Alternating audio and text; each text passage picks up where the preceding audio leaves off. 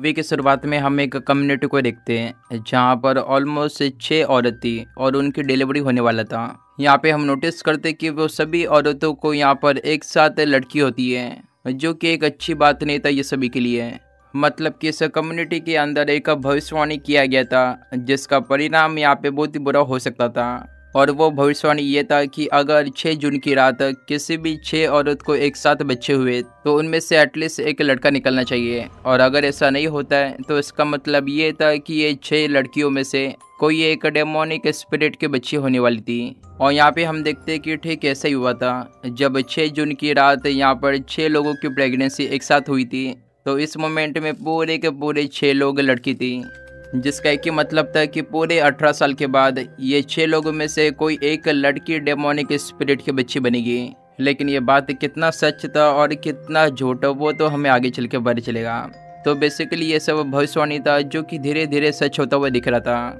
और इसी बीच हम देखते कि उस कम्युनिटी का हेड वहाँ पे आ जाता है, जिसका नाम था बिकन। और वो यहाँ पर ये छः लड़कियों को मारने के लिए आया था। वो जैसे अंदर की तरफ़ आता है, तभी वहाँ पे हम एक इंसान को देखते जिसका नाम था जैक।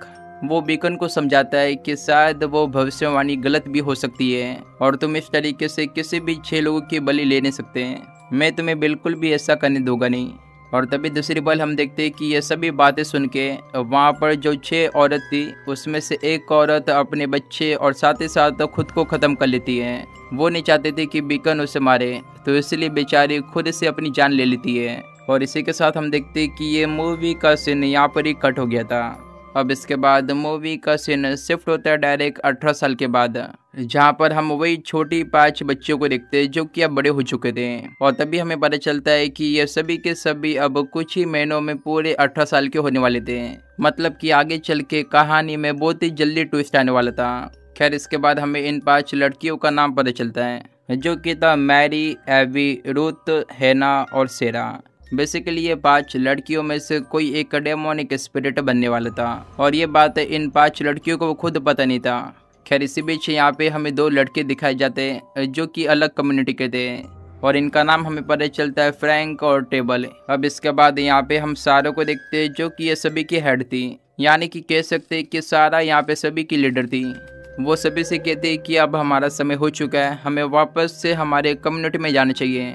मतलब कि इनका जो घर था वो काफ़ी दूर था और ये लोग नहाने के लिए बस इतना दूर चल के आए थे। कितनी मेहनत की ये लोग बस नहाने के लिए।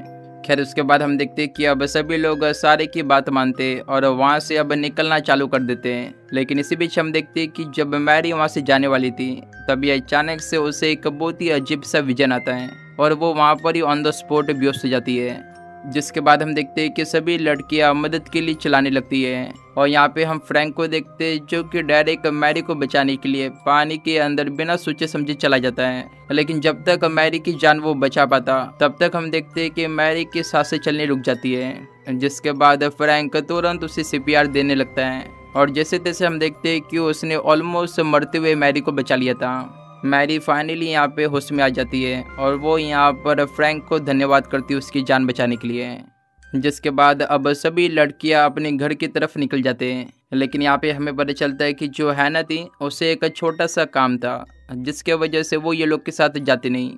वो अपने काम को पूरा करने के लिए वो लोग से अलग चली जाती है, जिसके बाद हम अगले सीन में हैना को यहाँ पर एक फार्म में आता हुआ देखते हैं। लेकिन जैसे वो फार्म के अंदर जाने वाली थी तभी अचानक से हम देखते हैं कि वहाँ पर एक ब्लैक कोट पहना हुआ इंसान हैने के ऊपर डायरेक्ट अटैक कर देता है। वो जैसे तैसे अपनी जान बचा के वहाँ पर एक नाइफ को उठा के भागती है और फिर उसके बाद वो वहाँ पे एक कुएँ के अंदर छुप जाती है अपनी जान बचाने के लिए। कुछ मोमेंट तक हम देखते हैं कि बाहर से किसी की भी आवाज़ आती नहीं और यहाँ पर दूसरी तरफ़ हैनो को लगता है कि शायद उसकी जान बच चुकी है, लेकिन ऐसा बिल्कुल भी नहीं था। हम वहाँ पर वही ब्लैक कोट वाले इंसान को देखते हैं, जो कि हैनो को देख लेता है। और वो यहाँ पर बहुत ही बुरी तरीके से हैनो को जान से मार देता है। और इस मोमेंट में हमें कुछ भी बताया नहीं जाता है कि आखिर ये ब्लैक कोट वाला इंसान है कौन। वो इंसान कोई भी हो सकता था, क्योंकि यहाँ पर सभी को पता था कि वो पाँच लड़कियों में से कोई एक डेमोनिक स्पिरिट है। खैर, इसके बाद अब मूवी का सीन शिफ्ट होता है डायरेक्ट मैरी के ऊपर। और तभी हम नोटिस करते हैं कि जो जैक की फैमिली थी, वो मैरी को बिल्कुल भी पसंद नहीं करते थे। उन्हें यहाँ पर मैरी एक एडिशनल बोझ लगती थी उनके फैमिली में और कुछ नहीं। और इसी वजह से हम देखते हैं कि डिनर के टाइम जो यहाँ पे जैक की वाइफ थी, वो मैरी को उल्टा सीधा कहने लगती है कि तुम कुछ काम क्यों नहीं करती? तुम बस खाती रहती हो। और इसके साथ ही साथ वो काफ़ी सारी बेजती करती है, वो भी सभी के सामने। तो ये सभी चीज़ की वजह से हम देखते हैं कि मैरी को काफ़ी बुरा लगता है और वो तुरंत अपने कमरे में भाग के चली जाती है। जिसके वजह से हम देखते हैं कि जैक भी डिनर से उठ जाता है और वो तुरंत मैरी के पीछे जाता है। वो मैरी को समझाता है कि मैं अपनी फैमिली को समझा नहीं सकता, लेकिन तुम मेरी एक अच्छी बेटी हो तो तुम मेरी बात को समझ पाओगी। मेरा एक ही सलाह है तुमसे कि तुम लोगों की बातों को दिल से मत लो। लोगों का काम है बोलना और वो तुम्हें बार बार हट करेंगे तो तुम उनकी बातें सुनो मत। और इतना समझा कर वो उसे शांत करके वहाँ से चले जाते हैं। अब इसके बाद मूवी का सीन डायरेक्ट आधी रात में शिफ्ट होता है, जहाँ पे हम मैरी को सोता हुआ देखते हैं। लेकिन फिर एक बार यहाँ पे मैरी को विजन आना चालू हो जाता है। वो अपनी विजन में हर जगह ऊपर से ब्लड गिरता हुआ दिखती है। और इसके साथ ही साथ वो एक डेमोनिक एंटिटी को भी देखती है, जिसे देखने के बाद हमें छोटा सा हिंट मिलता है कि शायद से वो डेमोनिक बच्ची और कोई नहीं, बल्कि मैरी बनने वाली थी। लेकिन जो भी सच था, वो तो हमें फ़िलहाल कंफर्म बताया नहीं जाता। खैर, इसके बाद अब अगले सुबह हम देखते हैं कि जब सभी लड़की अपने काम में लगे हुए थे, तब वहाँ पे वो कम्युनिटी का हेड यानी कि बिकन आता है, जो कि सभी लड़कियों को बताता है कि तुम्हारी एक दोस्त कहाँ पर है। बेसिकली वो यहाँ पे हैना का बात कर रहा था, जिसकी मौत यहाँ पे हो चुकी है। लेकिन उनमें से किसी भी लड़की को पता नहीं था कि एक्चुअली में हैना कहाँ पर है। वो बताते कि जब हम वापस आ रहे थे तो हैनो को एक काम याद आ गया था, और फिर उसके बाद क्या हुआ वो किसी को पता नहीं। जिसमें हम देखते कि बैकिन वो सभी को वार्न करता है कि तुम पाँचों की जान यहाँ पे खतरे में हो सकती है। वो यहाँ पर ये सभी को अलर्ट कर रहा था क्योंकि ये लोग के अठारह साल पूरा होने आए थे, और फिर उसके बाद कोई भी इंसान ये लोग की जान के पीछे बढ़ सकता था। अब इसके बाद बैकिन के जाते ही हम देखते हैं कि दूसरी तरफ़ वो सभी पाँच लड़की प्लान करने लगते हैं। वो कहते हैं कि हम सभी रात में मिल के हैना को ढूँढने के लिए जाएँगे। वो सभी को ऐसा लग रहा था कि शायद से हैना वो दो लड़की के पीछे गई होगी। तो यहाँ पर वो सभी प्लान करते कि आज रात सभी मिलोगे। अब इसके बाद मूवी के अगले सीन में हम देखते कि सभी पाँच लड़की एक साथ आ चुके थे अपने घर से कुछ ना कुछ बहाना मार के। और वो यहाँ पर आते सभी के सभी हैना को ढूंढना चालू कर देते हैं। लेकिन इसी बीच वो सभी के ध्यान एक पार्टी की तरफ़ जाता है, जो कि मॉडर्न लड़के लोग कर रहे थे, यानी कि दूसरी कम्युनिटी के लड़के। वहाँ पे कुछ लड़कियाँ भी थी तो ये सभी लड़कियाँ मिलके डिसाइड करते कि हम क्यों ना वो पार्टी को ज्वाइन कर ले, जिसमें हम देखते कि रोहित और सारा दोनों भी ये ऑफ़र को मना करते हैं। वो कहते कि हम यहाँ पर हैना को ढूँढने के लिए आए तो हम सबसे पहले यहाँ पे हैना को ढूंढ गए। और इतना के कि रूथ और सारा दोनों भी वहाँ से निकल जाते हैं हैना की तलाश में। जिसके बाद हम देखते हैं कि एवी, रोथ और मैरी तीनों भी उसी पार्टी को ज्वाइन करने के लिए चले जाते हैं। और यहाँ पे इनके नसीब से हम देखते हैं कि फ्रैंक और टेबल भी थे, जो कि ये सभी का वेलकम करते हैं। एक तरफ़ हम रूत और सायरा को देखते हैं, जो कि यहाँ पे हैनो को ढूँढने में लगे थे, और दूसरी तरफ़ ये तीन लोगों को देखते हैं। लेकिन फिर एक बार हम देखते हैं कि यहाँ पर मैरी को कुछ ही समय में एक बहुत ही भयानक विजन आता है। जिसके वजह से वो काफ़ी डर जाती है और वो तुरंत वहाँ पे एबी को छोड़ के सैरा और रूथ के पास चली जाती है। दूसरी तरफ़ हम यहाँ पे बैकिन को देखते हैं, जो कि सभी कम्युनिटी लीडर से कुछ मीटिंग कर रहा था। और ये मीटिंग और किसी के बारे नहीं, बल्कि वही पाँच लड़कियों के बारे में था, जिसमें हैना तो गैप थी मतलब कि वही बाकी के चार लोगों के बारे में। इस मीटिंग के द्वारा हमें पता चलता है कि जो बैकिन था, वो यहाँ पर एक बहुत ही बड़ा प्लान बना रहा था। और इस प्लान में सभी कम्युनिटी के दूसरे लीडर भी शामिल थे। जो भी डेमोनिक स्पिरिट बनेगा, वो यहाँ पर एक कम्युनिटी को टारगेट नहीं करेगा। बेसिकली वो इनकी पूरी नस्ल, यानी कि पूरे टाउन को ख़त्म करेगा। तो ये काफ़ी बड़ी बात थी और काफ़ी सीरियस बात है। तो इस वजह से ये लोग मीटिंग में कुछ प्लान बना रहे थे। खैर, इसके बाद हम एवी को देखते जो कि उसी पार्टी में थी। और यहाँ पर फिर एक बार हम उसी ब्लैक कोट वाले इंसान को देखते हैं, जो कि अब एवी को मारने के लिए आ गया था। लेकिन यहाँ पे जो फ्रैंक था, वो एवी को बचाने की बहुत ही कोशिश करता है। लेकिन वो ब्लैक कोट वाला इंसान फ्रैंक को भी जान से मार देता है। जिसके बाद हम देखते हैं कि अब वो एवी को भी छोड़ता नहीं, और यहाँ पर उसकी भी मौत हो चुकी थी।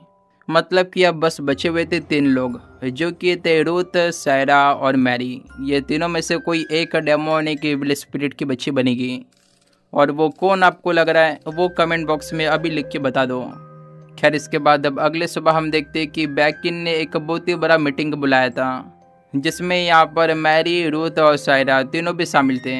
और ये मीटिंग और किसी के लिए नहीं, बल्कि जो दो लड़की यहाँ पे गैप हुए थे, उन्हें ढूँढने के लिए रखा गया था। उनकी लाश अभी तक किसी को भी मिली नहीं थी। तो यहाँ पर कुछ भी कंफर्म नहीं हुआ था कि वो लोग मर गए, या फिर वो डेमोनिक स्पिरिट वो दोनों में से कोई एक है। खैर, कुछ दिन मीटिंग चलता है, और फिर उसके बाद वो मीटिंग को वहाँ पर ही ख़त्म कर दिया जाता है। मीटिंग के ख़त्म होते ही हम देखते हैं कि जैसे ही मैरी वहाँ से बाहर निकलती है तो उसे वहाँ पर टेबल दिखाई देता है, जो कि कल रात उसके साथ पार्टी में था। वो यहाँ पे मैरी को बताता है कि फ्रैंक का भी कुछ अता पता नहीं है। वो भी कल रात पार्टी के बाद गैप हो चुका है। लेकिन जैसे ही टेबल यहाँ पर कुछ बताने के लिए जा रहा था तभी वहाँ पे जैक आ जाता है, जो कि यहाँ पर मैरी को उसके साथ चलने के लिए कहता है। जिसके बाद हम देखते हैं कि टेबल जैसे तैसे जैक से बचते हुए मैरी के पॉकेट में एक लिखे हुए नोट्स को डाल देता है।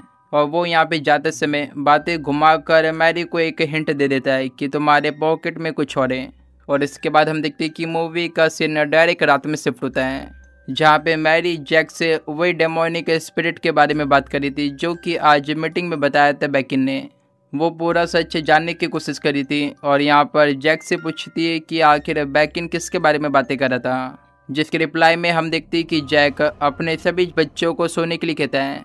और फिर उसके बाद अब जाकर यहाँ पर जैक पूरी वो डेमोनिक का कहानी सुनाता है और उसके साथ ही साथ वो भविष्यवाणी बताता है जो कि कुछ साल पहले हुआ था।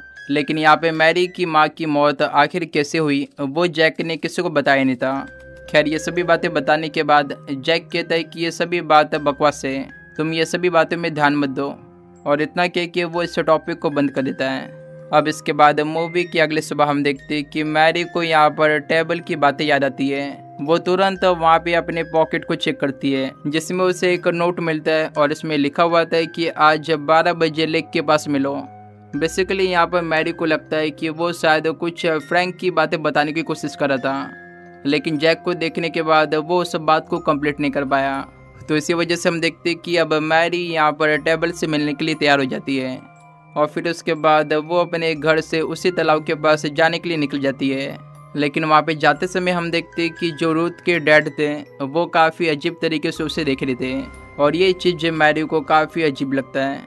खैर, ये सभी चीज़ को इग्नोर करने के बाद वो फाइनली यहाँ पे तालाब के पास आ जाती है। और यहाँ पर उसे टेबल दिखाई देता है, जो कि उसे बात बताने के लिए नहीं, बल्कि बस उससे मिलने के लिए बहाना मारा था।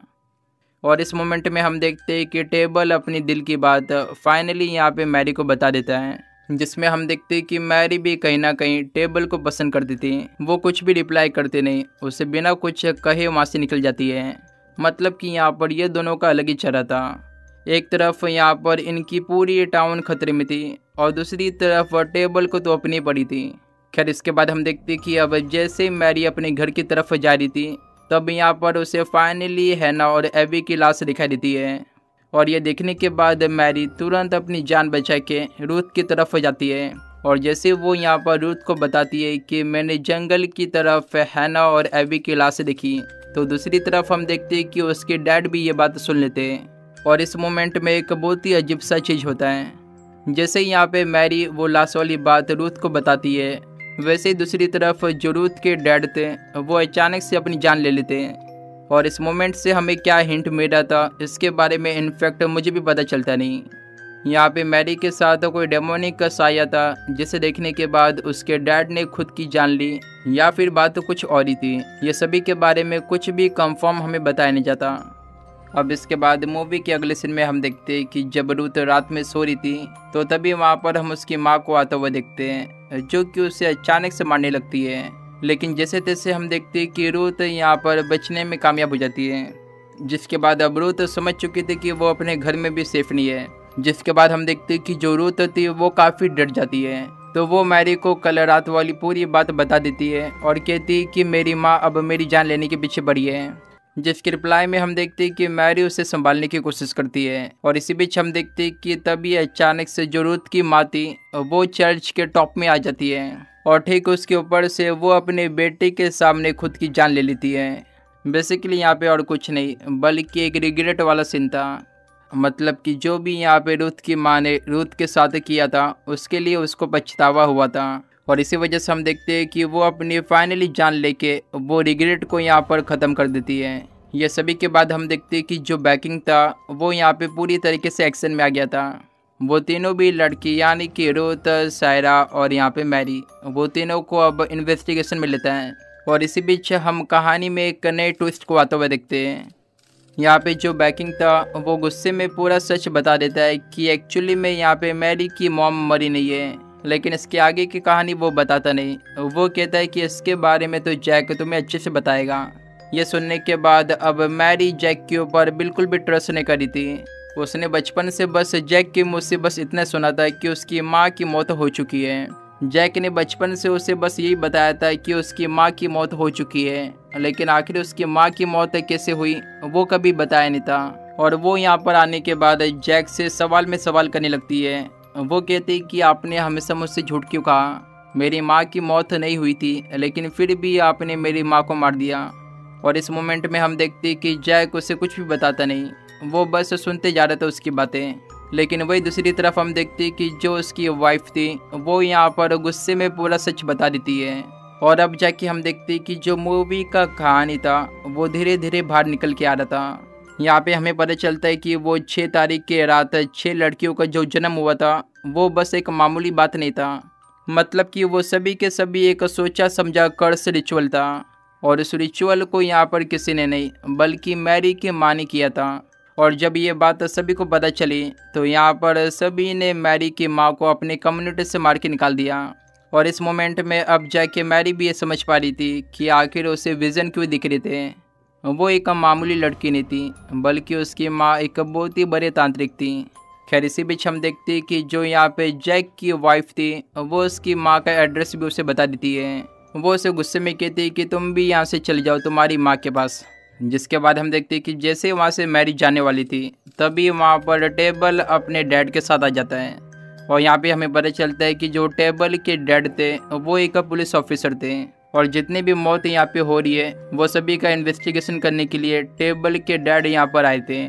लेकिन वही दूसरी तरफ़ हम देखते हैं कि अचानक से वहाँ पे बैकिन आ जाता है, जो कि टेबल के डैड को वॉर्न करता है और कहता है कि मेरे परमिशन के बिना तुम यहाँ पे इन्वेस्टिगेशन नहीं कर सकते और ये चीज़ अक्सर यहाँ पे गाँव में होता है, जहाँ पे ग्राम पंचायत, सरपंच ये सब होते हैं तो वो किसी भी बाहर वाले को इन्वेस्टिगेशन करने देते नहीं। भले वो पुलिस हो या फिर कोई भी इंसान। वो यहाँ पर आखिरी में टेबल के डैड को वॉर्न करता है और कहता है कि तुम अगर इन्वेस्टिगेशन करना चाहते हो तो सबसे पहले तुम्हें कोर्ट से एक वारंट लेना पड़ेगा, जिसमें हम देखते हैं कि टेबल के डैड चाह के भी कुछ नहीं कर पाते। जो भी यहाँ पे बैक इन कह रहा था, वो लीगल वे में सही था, क्योंकि उस टाइम में पुलिस के पास इतना पावर नहीं थे कि वो किसी भी इन्वेस्टिगेशन को चालू कर पाए बिना किसी वारंट के। तो यहाँ पे हम देखते हैं कि टेबल के डैड अब वापस जाने लगते हैं। लेकिन तभी दूसरी तरफ़ हम रूथ को देखते हैं, जो कि चिल्ला चिल्ला के कहती है कि ये सभी के पीछे बैकिन है। वो यहाँ पे टेबल के डैड को इन्वेस्टिगेशन करने के लिए कहती है, लेकिन पूरे कम्युनिटी के मेंबर उसे रोक लेते हैं। और फिर उसके बाद हम देखते हैं कि जैसे वो पुलिस ऑफिसर वहाँ से जाते हैं तो उसके बाद जो बैकिंग था, वो यहाँ पे रूथ को एक बहुत ही बड़ा पनिशमेंट देता है। वो कहता है कि तुम हमारे कम्युनिटी के हेड के खिलाफ गई हो, यानी कि मेरे खिलाफ। तो तुम्हारी सजा यही है कि तुम इस कम्युनिटी के मेंबर अब नहीं हो। मतलब कि तुम अब हमेशा के लिए इस गाँव से निकाली जाती हो, ठीक मैरी की माँ की तरह। और इस मोमेंट में हम देखते हैं कि कोई भी इंसान यहाँ पे रूथ की मदद करता नहीं। जिसके बाद रूत वहाँ पे रोते हुए बाहर निकल जाती है। और अब बस बचे हुए थे दो लोग, यानी कि मैरी और सायरा। ये दोनों भी अब बैकिन की नज़र में आ चुके थे।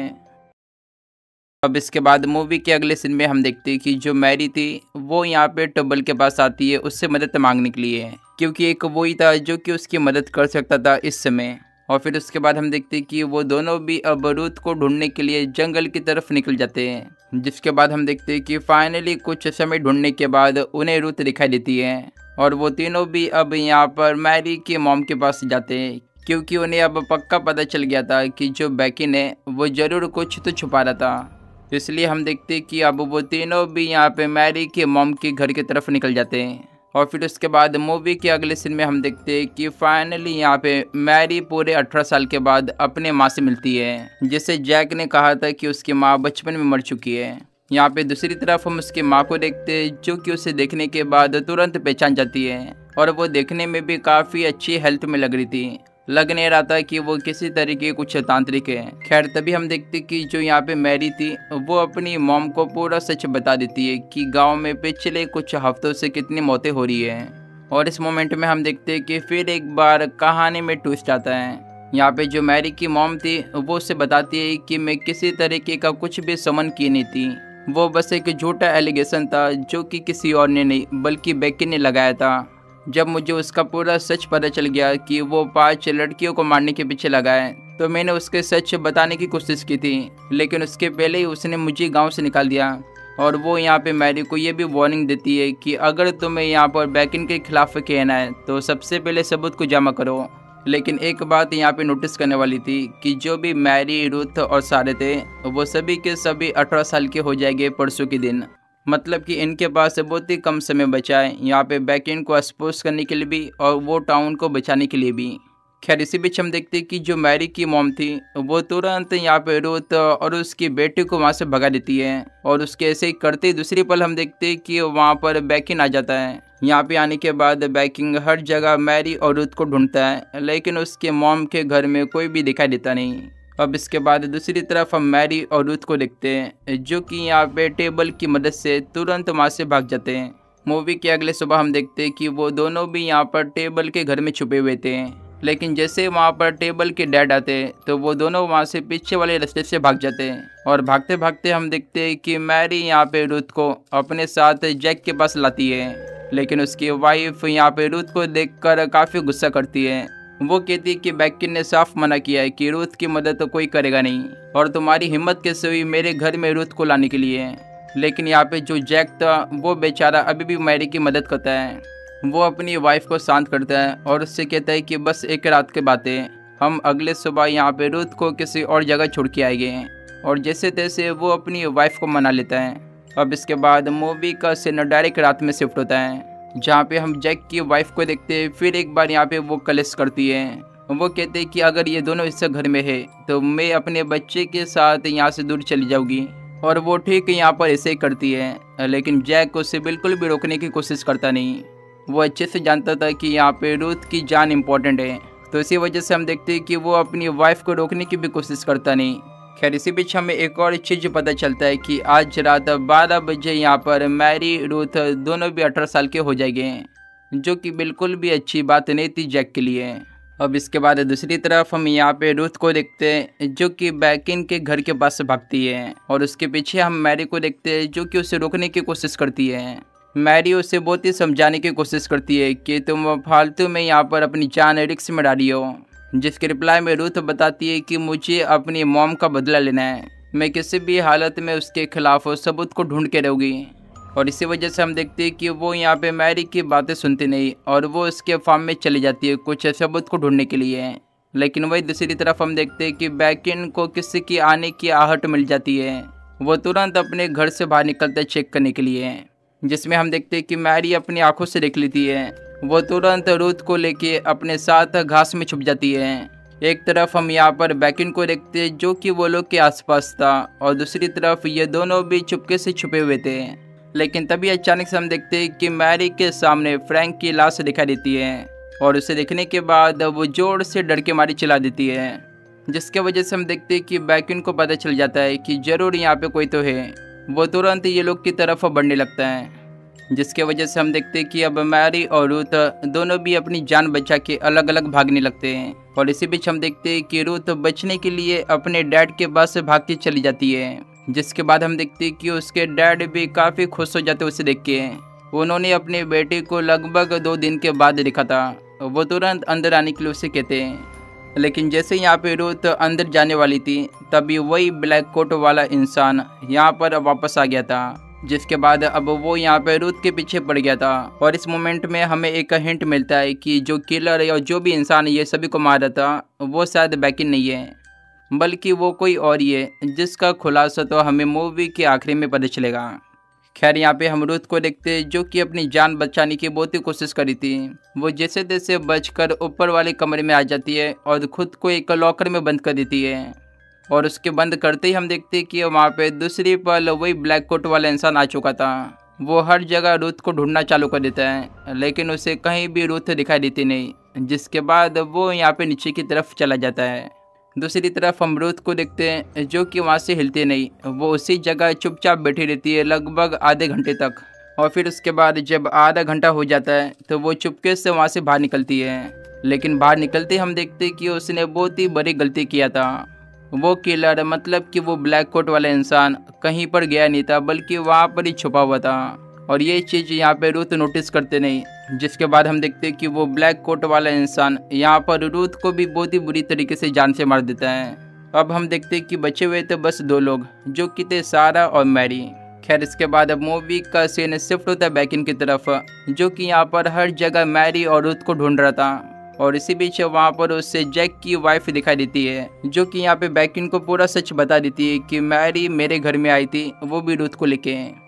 और वो दोनों भी फ़िलहाल मेरे घर में हो गए। लेकिन शायद अब वो लोग सारे के पास जाएँगे, क्योंकि बहुत ही जल्दी बारह बजने वाला है। ये सुनते ही हम देखते कि बैकिन तुरंत यहाँ पे सारे के घर की तरफ़ चला जाता है। लेकिन उसके जाते ही हम देखते हैं कि वो ब्लैक कोट वाला इंसान अब यहाँ पर जैक की वाइफ को भी मार देता है। और इस मोमेंट में फिर एक बार हमें कंफर्म पता चल जाता है कि जो भी इंसान सभी को मार रहा है, वो शायद यहाँ पर बैकिन नहीं है, बल्कि कोई और ही था। खैर, दूसरी तरफ़ हम यहाँ पे मैरी को देखते हैं, जिसे जैक का फाइनली मिल जाता है। लेकिन यहाँ पे जो मैरी की कंडीशन थी, वो बिल्कुल भी ठीक नहीं थी। जैक तुरंत उसे यहाँ पर सारे के पास लेके जाता है, और उसकी वाइफ का प्रडिक्शन बिल्कुल यहाँ पे सही था। उसके वाइफ ने भी यही कहा था कि मेरा हस्बैंड यानी कि जैक, वो दोनों को शायद सारे के घर पे लेके जाएगा। और वो ठीक यहाँ पे मैरी को सारे के पास लेके आया था, क्योंकि सारे के फैमिली के अलावा कोई भी इंसान के ऊपर वो विश्वास नहीं कर सकता था। तो इसलिए वो अपने साथ मैरी को यहाँ पे सारे के पास लाता है और उन्हें कहता है कि आप लोग मैरी को संभालो, मैं तुरंत डॉक्टर को बुला के लाता हूँ, जिसमें हम देखते कि सारा और मैरी और जो यहाँ पे सारे की माँ वो यहाँ पर जैक के साथ चली जाती है डॉक्टर को बुलाने के लिए।